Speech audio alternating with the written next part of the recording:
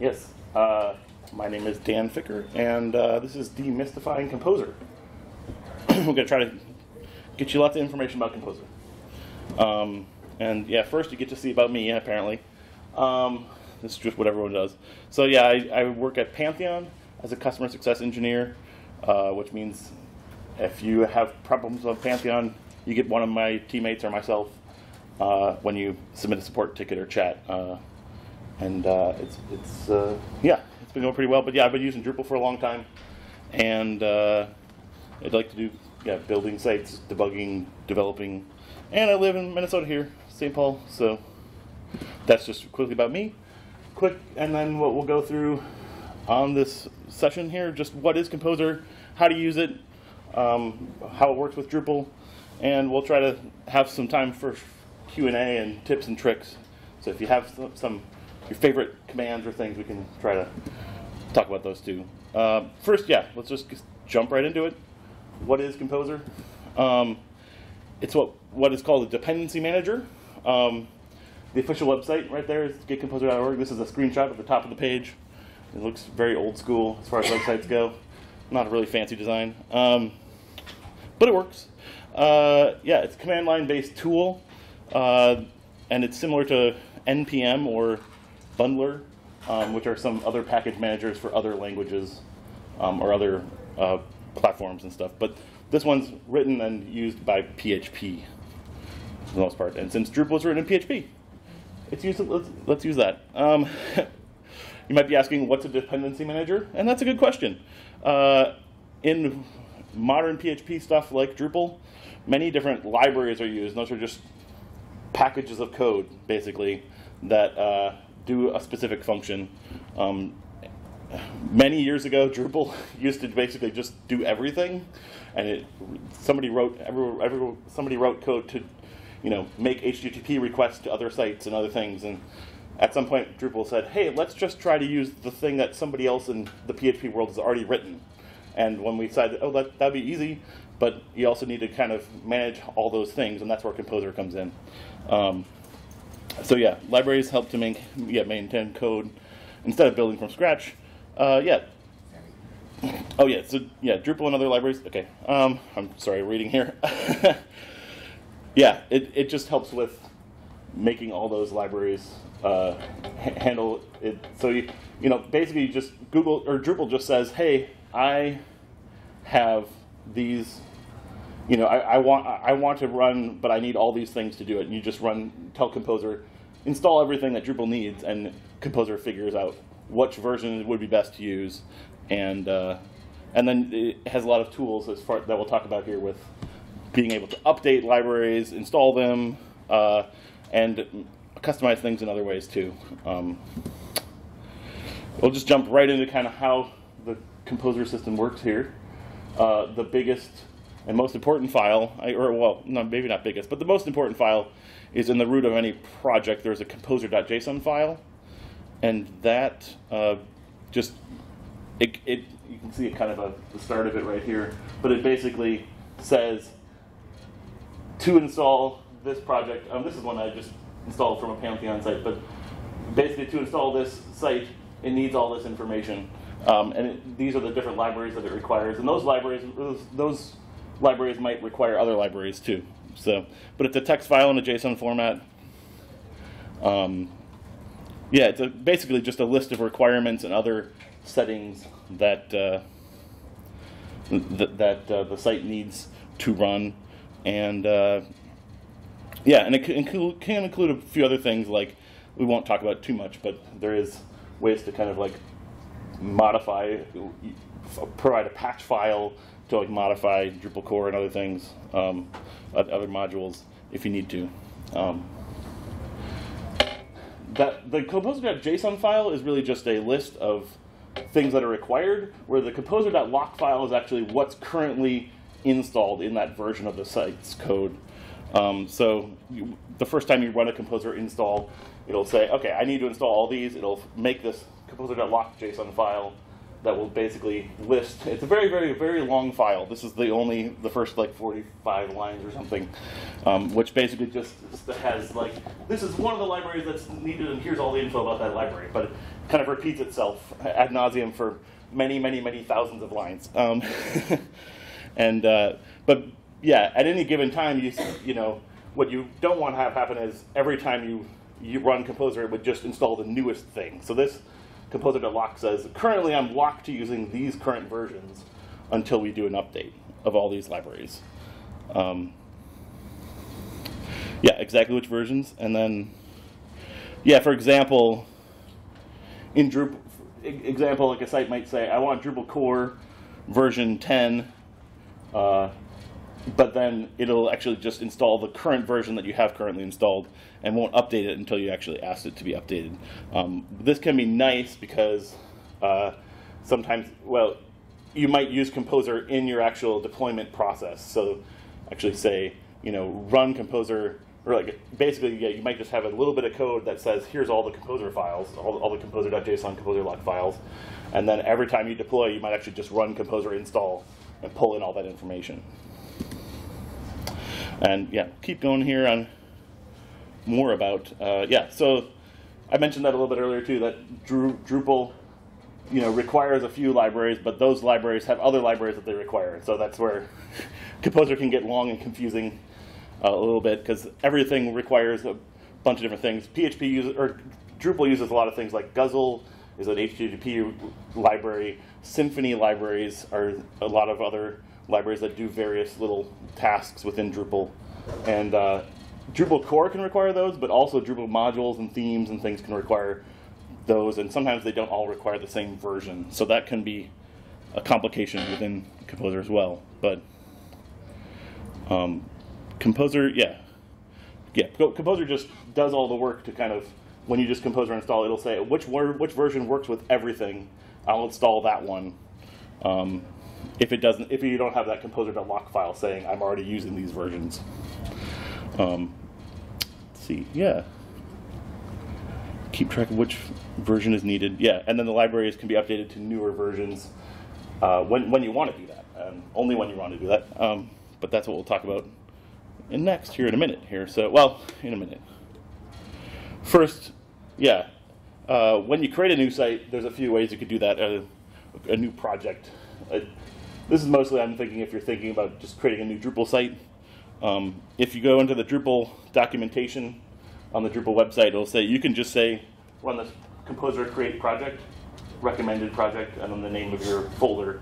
And it will basically just make a new composer.json that has all the Drupal stuff built in there. Um, and you know, if you use Pantheon, another way you can do that is just create a new site on Pantheon, and it will install the composer stuff for you as well too. But um, then you can just clone the site down. But we'll talk about that for a minute too, just in case you're using Pantheon, but only a minute at the end. Um, but yeah, the composer data is stored in those composer.json and composer lock files I mentioned, but also it puts some PHP files in various places when you run composer install. Um, Question? Yeah. Can you run composer on an existing site? Uh, let's see. For Drupal 9 and 10, you really almost need to have Composer running. Um, or you need to be using Composer to basically install Drupal. Um, I think in almost every case. There might be a zip file that you can download from Drupal.org that will at least get Composer core working, or Drupal core working without Composer. But yeah, with modern Drupal, you you you basically you need to run Composer when you're adding and removing modules and other things like that. Um, with Drupal 7 and 8, it's a little less required, um, or well, definitely not 7. Uh, 7 So if you have a used much. site, you? Um, that's a good question. I don't actually have too much information on that here. If, if you're using Drupal 7, uh, most of the modules don't require you use Composer at this point, but you could use Composer, I believe. Uh, there might be some, you might have to do, like, Drupal 8, or 9 and 10, and future versions will all have a composer.json file right in the root of, of Drupal. Um, and Drupal 7, I don't think has one included by default. And so you might have to do a little bit more to uh, kind of, you know, get that to work with Composer. Um, but it, I think it's possible. Um, or you could use Composer for some parts of your site, and I haven't done that in a while, so I don't remember all the details. I'm sorry. but uh, yeah, and then oh yeah. Uh, Oh yeah. So if you if you wanted to create like your own composer libraries, you could run this composer init command, uh, which basically says uh, it'll basically walk you through the steps of like what you need in a composer.json file. Um, and that would be if you're like you know making your own custom module or theme that you want to connect with Composer. Um, so that's kind of how you start or create a project. Um, yeah, and then this command composer require is one that you put in your um, let's see. I think I guess I didn't talk too much in here about installing Composer. There are instructions on com- Composer, getcomposer.org, on how to install Composer. It's just the command line tool. You could install it via Homebrew, or you could install it, you can download the the Composer uh, executable it, itself and install it on your local machine. So this is where you usually are running all the commands on your local machine with a local copy of your code. Um, but yeah, when you run Composer require, and then the name of the module, like right here, I put Pathauto you or composer require Drupal slash and then the module name. It'll basically run all the what you get right here is I ran the command up there and it actually just installed this module and a few other modules that it needed. Um, so ran, yeah, installed the ctools and uh, and token module, which Pathauto also needs to run. Um, so, but it also it, it just added to the composer.json file. Just I need Pathauto, I need this version, and then it installed all the other things that it just needed, just because it knew it needed it. And yeah, it, Composer will give you an error if it says there's no version that works with this version of Drupal, but that won't happen for Pathauto at least. for some modules, it could. Uh, if, if you do, you know, if it doesn't work with Drupal 10 yet or Drupal 9 or something like that, or but then yeah, so then what it, what it does is it yeah first writes to the composer.json file saying, hey, I'm going to, you know, now require this anytime I run Composer install again, and then it adds to the composer.lock file each of these actual versions that it just installed for all those libraries, and then it actually downloads the code and uh, and puts it in your uh, in, your uh, local copy of the code there. Um, and then yeah, there's an option to if the library is only really used for development. Um, there is a, a section just for development, then you could actually optionally not install when you're going to be deploying your code to live. Um, so if you put that dash dash dev when you're after the require, it would, it would put it in a different section of the composer.json that only runs when you're doing development stuff. So, uh, and then yeah, we've talked about I talked about this a little bit now, but we're going to go into more of the composer.in or composer install command, which is basically where it, it let's see, the first time it runs, if you haven't don't have a composer.lock file, it will actually um, just run. It, will basically have to do all the work to decide which versions of everything can I install um, based on all these requirements that we have in the composer.json file, and then it will actually just install whichever ones versions it thinks are probably the newest and best that are, are compatible, and then it will populate the composer.lock file. If the composer.lock file already exists, then it will just not even really look at much of the composer.json file. It will actually just install everything. And so that's what I ran over here too. You can see it's, it goes on and on and on, like installing hundreds of different libraries. And I don't even know what most of them do, to be honest. But it's uh, you know it's all stuff. Most of that's all stuff. Like I think all I did on this test site that I was playing with is just install like Pathauto and other things. So most of these things are all required by Drupal core. Um, in Drupal 9 or 10. I think I, this is a Drupal 10 site, I believe. If you look at it says Drupal core in there somewhere, probably. Yeah, co core composer scaffold and core things are 10.1.2 is what I was installing here. Looks like or 1.3. Yeah. So yeah, it installs a lot of stuff, and I don't know if we need to know what every single one of them does, but it'll it'll mostly just work um, as far as installing those things for core. Um, yeah, and when you run in Composer install, by default, it does include all that dev stuff. So there are a couple things that core requires of a dev variety. So it'll actually add some coding tools. And if you include the dash dash no dev flag, um, it'll actually not include all those dev libraries if you don't need them.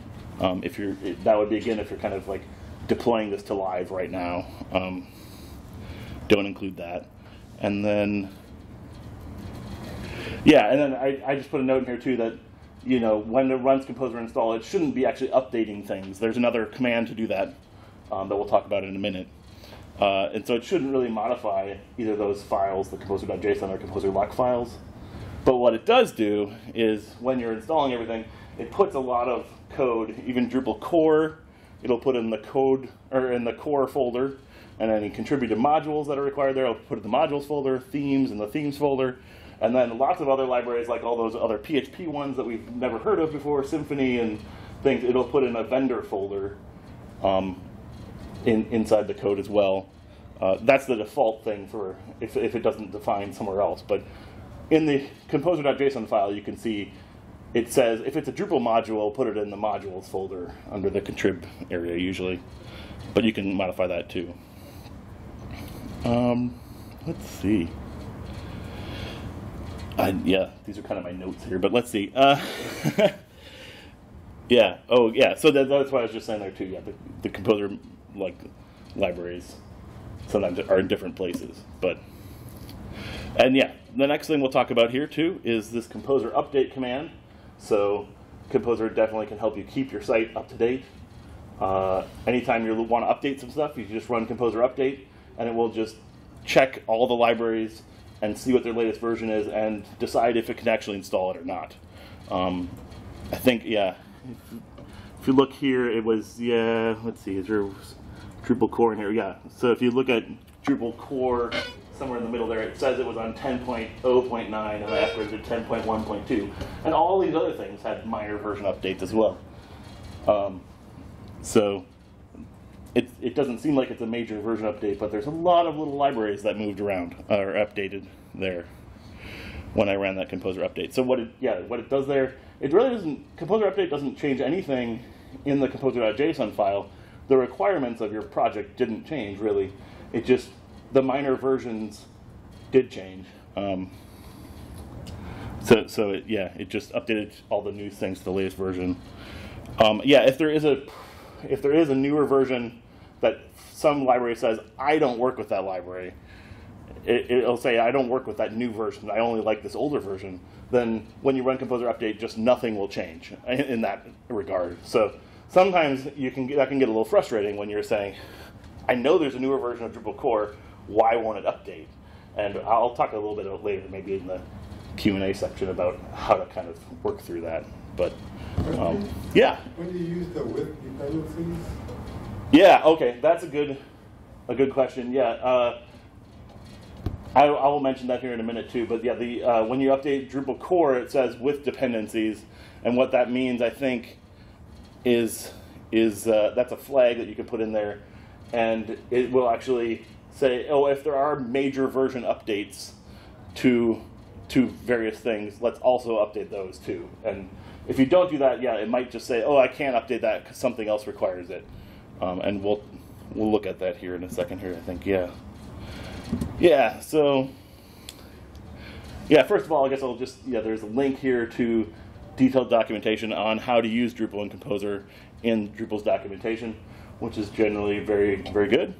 And uh, it, it the other thing I think is really cool and helpful is I showed these screenshots here is right on module pages and even Drupal cores pages.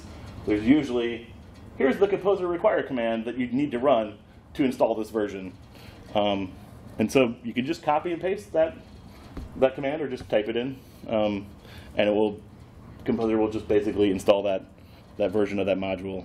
Um, and yeah, this is at the top of the module page, and this is like if you click on that release version number, it's more detail about the module, but it still has the same thing on both pages. Um, actually, that one's a slightly older version, but I think if you do that, it might still install the newer version because it knows the newer version's better. But you could you could do some work to kind of force it to use that version if you really want to. I don't know if that's really recommended, but um, Yeah, and so let's see. Yeah, yeah, and the, the, the other thing that's great about this too is just it works great with Drupal. When you run Composer Update, it just goes onto the Drupal Composer server that Drupal maintains that, that has a list of all the modules and all the versions. Um, so whenever a new version comes out, automatically Composer right away knows about it. So, uh, and then yeah, major version upgrades of Drupal, like you were talking about, are a little bit different because there's there's usually a lot of let's see, yeah, it there's usually something that it, it says usually somewhere in your composer.json file it will say I want to only use this version. if you're using a major version, you have to kind of basically tell it, actually, even though I normally wouldn't update certain parts of this um, because it's a new version, I want to get a new version. And so that's where, uh, yeah, it says update all the core folders, or yeah, composer update core with all dependencies, which means, yeah, usually if it was just a, a major version update, the composer probably wouldn't want wouldn't do that unless you say, "Hey, I really, really do want to update this." it wants to kind of get your confirmation, like, I do want to change from this version that I'm currently at to a new major version. Um, usually, you you have it kind of set to say, "Hey, I only want the minor updates that are security and bug fixes." Um, but this is a way to get around that. Um, and then, yeah, I just have a little tip here too that when you're upgrading from Drupal 9 to Drupal 10, I've found it's easier to make sure, first, make sure that all the modules are compatible with Drupal 10, and then update them to the newest version that is compatible, if they're compatible for both 9 and 10. And then you'll have less things to do when you do the major version update at the same time. So this can be a little complicated because there are still some modules that just don't yet work with Drupal 10, and there, there are some ways to get around that. Um, and but they can be kind of complicated. and I uh, sometimes think maybe just try to wait until the modules developers have a Drupal 10 version soon, hopefully. Um, obviously, Drupal 10 is going out of support, or Drupal 9 is no, no longer going to be supported in a few months here. So hopefully soon all the modules will have a version that works with Drupal 10. So um, let's see. Oh, yeah, I'll talk a little bit here about Pantheon and Composer and Drupal um, yeah, when you if, if you use Pantheon in the dashboard, you can basically just say, hey, create a new site, and we'll actually just give you a, a, a basically a composer-based site right away, um, at Drupal 10, and and you can then just clone the site down or clone the Git repository and run composer install on your local machine, and you actually have basically a working site then. Um, one thing that's really cool about this to some extent, and one reason to use Composer is that your code in your Git repository is much smaller because it doesn't have a copy of all of Drupal core and all these many modules in your code. It's just the code is is just the Composer files and maybe a few custom files that you have, modules and things that are not in Git in Composer. And then every time you install, it just puts in Git like the current newest version and the one that when you make a when you run another composer install or you, when you run when you deploy again, it actually just removes that old one and installs a new one. So uh, the, the newest latest version. So it actually yeah keeps your code a lot smaller because you don't have you know the many megabytes of code in there. You just have a recipe with Composer to how to install that code. Um, and then yeah, this is a little picture of the on the right here in the Pantheon dashboard it now is composer aware too, so that when you this won't work on Drupal 7, but it will 8, 9, 10, that type of thing. But it, if you have it set up correctly. But yeah, what here will say is like, oh, I found a new version of one of these modules, and actually, if you want to just hit the supply update right here, Pantheon will actually just run Composer Update for you and apply those updates to that environment. So that can be, you can also do it on your local machine too if you want, um, and then push those changes up as well. But it's kind of handy to have at least that option to run the updates there. Uh, yeah, like I said earlier, if you're going to develop, develop locally, if you just pull down the Git code, you'll just have the composer.json, composer.lock file, and a few other things. But if you run composer install, you'll it'll get you all your code right there. Um, and then, yeah, on your local, you can require new modules, update things as well, um, and then just commit the files, the composer.json, composer.lock, and everything else will just be installed after you put your changes. Um, and then, yeah, there's a few links for documentation here if you want to look at that. Or if you have any questions, you can ask me too. And I think I went through these pretty quickly, so we have plenty of time for more questions. And if you have your favorite Composer tips and tricks or things that you like to do with Composer that you want to share, feel free to do that as well. I don't know. Oh, yep, right there. Composer update command, Mhm. um, does that, I think I saw in there that it said it updates all libraries. Is that just within the core or is that literally all libraries or like all modules? If you if you just run Composer update by itself, yeah, it'll try to update everything. Okay. Um, I think let's see if I yeah right here it says Composer update Drupal core dash asterisk. That's saying I I don't want to update everything. I just want to update the core and anything that it depends on. So it will actually update most things probably. But if there was a few you know, if yeah, if you ran just Composer update, it would try to update everything. Um, and if you just say Drupal, Drupal core, or Drupal, and then a module name, it'll just only try to update that. Um, and even actually, it won't even try to update the dependencies unless you add that with all dependencies flag. So, um, yeah, that's a good question though. Yeah, Follow up for that one, I'm sorry. yeah, go for it. Can you, when you do composer update, is it possible to just exclude like one or two modules? Um, so yeah, one thing I didn't talk about here a little bit is uh, actually I don't know if I have a good example in here. Um, it, let's see, I'll go back here to the composer require here. No, actually I'll go back to the composer.json file. Right here, it's a little maybe a little hard to see there. There's a little asterisk or a little not, uh, a caret before the 10 there, and there, that's actually there's a on the composer documentation, it talks about there's a few different things you could put there. You could actually, in your composer.json file, say, I want 10.1.3, which is the current version. And if you just put just that in there for Drupal core, it will always want to use that version. It will never update, basically. But the little caret says, I want anything that's newer, that, that's the 10 version. So um, actually, yeah, in this case, if it's just 10, it would actually, when it, and then 10.2 comes out, it would be like, oh, I see an update. But you could also say, hey, I want just 10.1, and any new major version, I don't want to update that automatically. Um, so there, yeah, there's a few different, I, I don't remember all of them, but there's like, the caret says like any minor version updates I want, but not the newest, not a new major version. So like when Drupal 11 comes out, it wouldn't update right when you hit Composer Update unless you added some things to say, I really actually do want 11. Um, so yeah, there's, there's some control you have there. If you really want to, you could say always use this one version, but usually there's, uh, you know, there's at some point probably going to be some updates that you do want to pull in at some point. Um, but there's a few other different. I, can't remember the other. There's a few other different, like a dollar sign or a something or other that, that does slightly different versions where it says I'll only, I'll, I'll take maybe more major version updates, but not like a brand, like a really really new version or something. So the, there's a a there's a whole system called like a semantic versioning, which says like the three.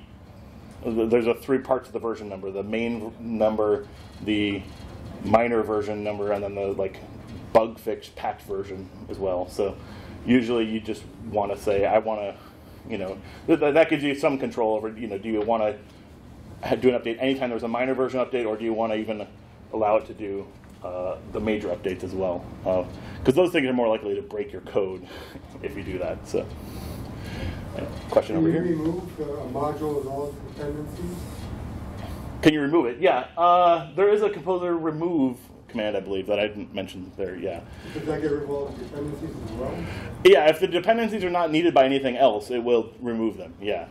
Um, like I said, there's I think some cases where it's like, you know, a bunch of different modules could require the same thing. So it'll actually, you know, it'll remove it if it's not needed anymore. If it's if it's needed by something else, it'll probably just keep it there. And so sometimes you might see, oh, it's not it's not removing. But actually, there are fun. I didn't mention them here, but there are a few commands that are fun uh, to help understand some of those issues I, that I use sometimes. The composer why, and then the name of a library. So composer why, you know, Drupal slash Pathauto will say, hey, I've got this whole, or uh, you know, the the main JSON composer.json file requires that.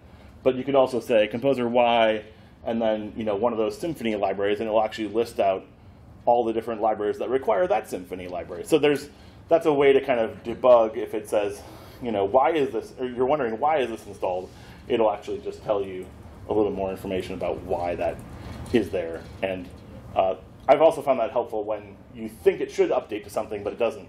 You can say, you know, why is it? And the other thing that sometimes happens too, I guess, is sometimes people, or sometimes, yeah, sometimes uh, I mentioned I think earlier in there. So it is a text file that you could you could modify yourself. Uh, if you if you miss a, a comma or a bracket somewhere though, then when you run Composer next time, it's going to be like the, the the the Composer file doesn't make any sense anymore, and it'll say like you have a syntax error here somewhere. Um, I, I think you know just use the composer commands because otherwise it's very easy to write a syntax error in here, and it can be a little hard to figure out where your syntax error is.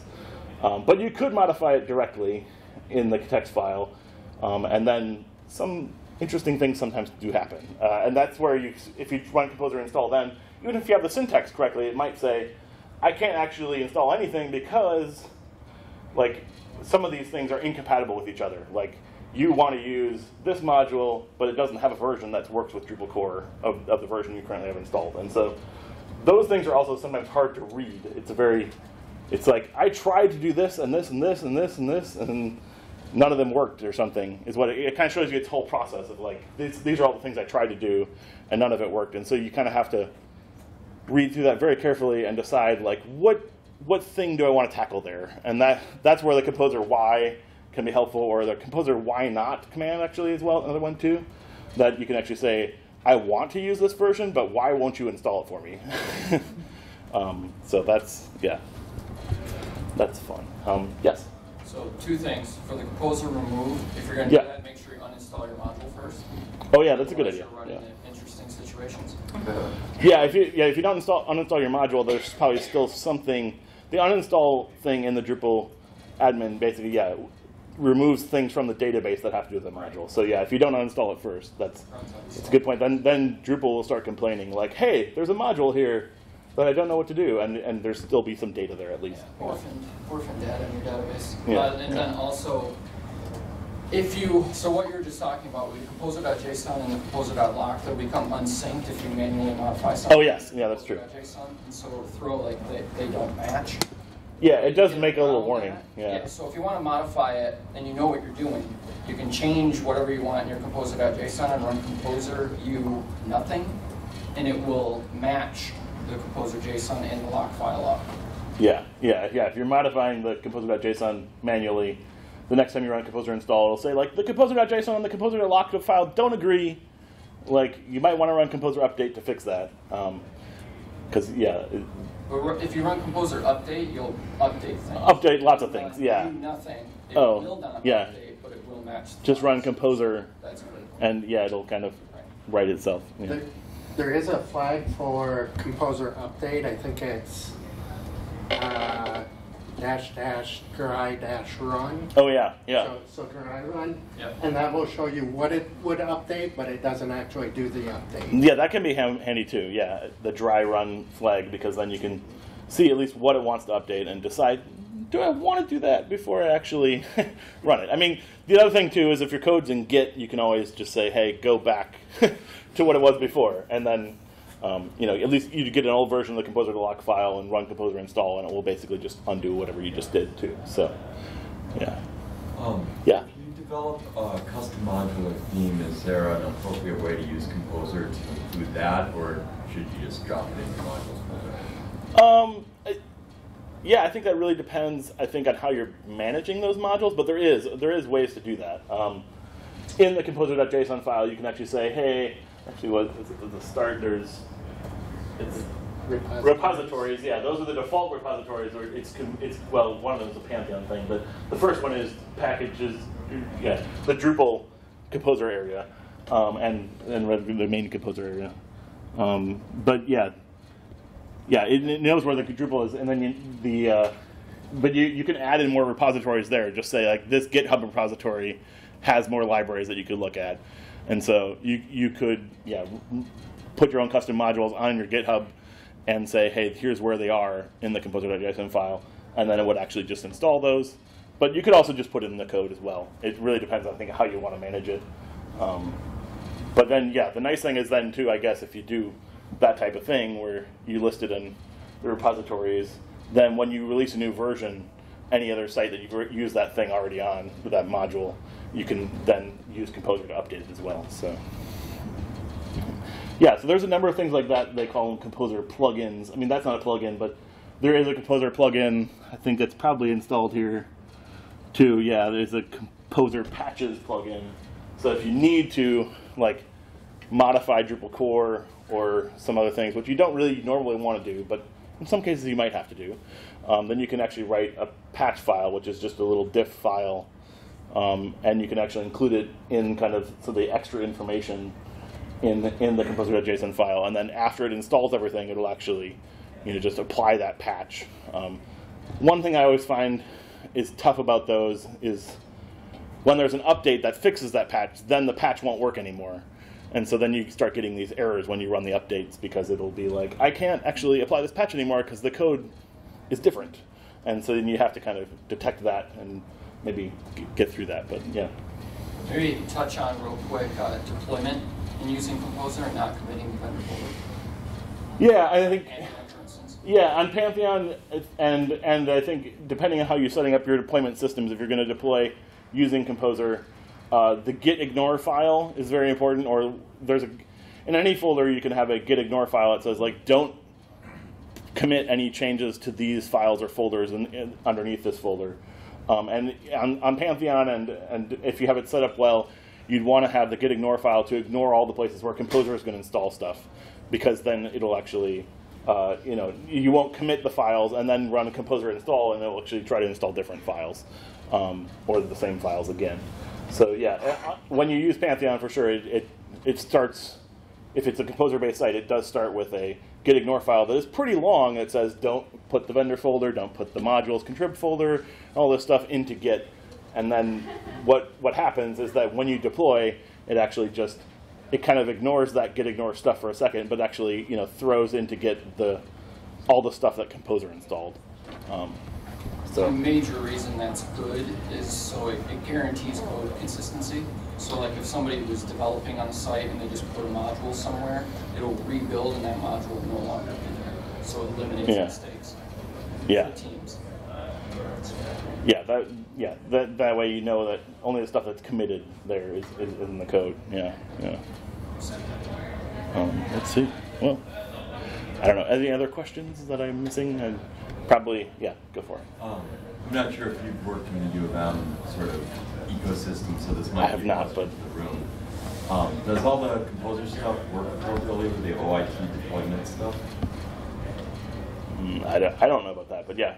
Question about U of M and OIT deployment and stuff. I, I mean, that's, that's specific, but it does work with CI systems. You just have to set it up properly, and Yeah. you're executing composer commands automatically with whatever system you're using. So it will, but it has to be set up. Yes. Oh.